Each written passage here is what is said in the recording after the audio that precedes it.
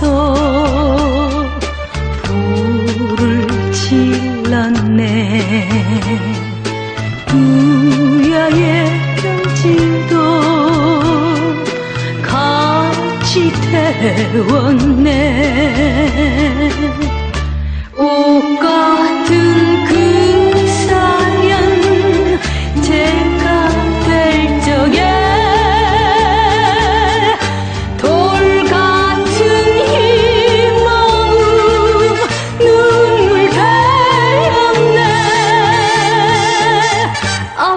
우냐고 물었을 때 낙엽타는 연기가 맵다고 했네.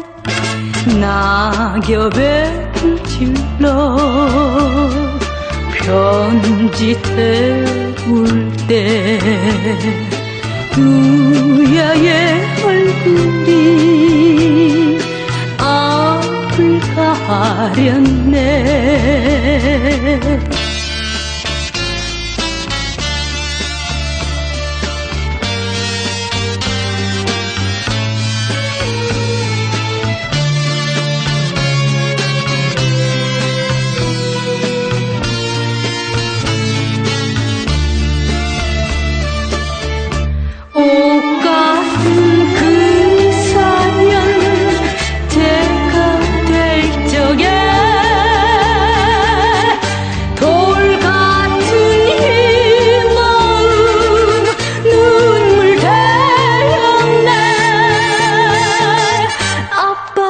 왜 우냐고 물었을 때 낙엽 타는 연기가 맵다고 했네.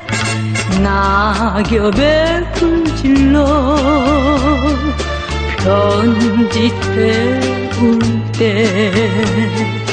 누야의 얼굴이 앞을 가렸네